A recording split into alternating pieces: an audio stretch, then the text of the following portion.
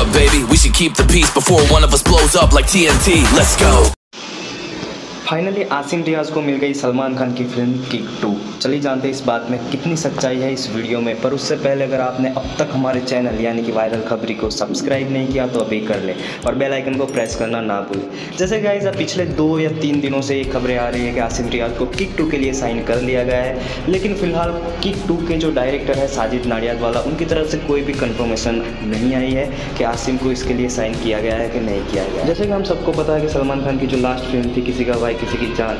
उसमें भी आसिम रियाज को साइन किया गया था, लेकिन कुछ बातों के चलते आसिम का नाम हटा के वहाँ पर जस्सी गिल या फिर राघव जियाल का नाम ऐड कर दिया गया था। इसी तरह इस बार भी खबरें आ रही है कि आसिम रियाज को किक टू के लिए साइन कर लिया गया है, लेकिन नडियाद वाला और ग्रैंड की तरफ़ से कोई भी कंफर्मेशन नहीं आया है, ना कि उन्होंने किसी भी सोशल मीडिया पर यह बताया है कि हम आसिम रियाज को साइन कर रहे हैं किक टू के लिए। अब देखना काफ़ी दिलचस्प होगा कि क्या आसिम रियाज सलमान खान की किक टू में हमें देखने मिलते हैं कि नहीं।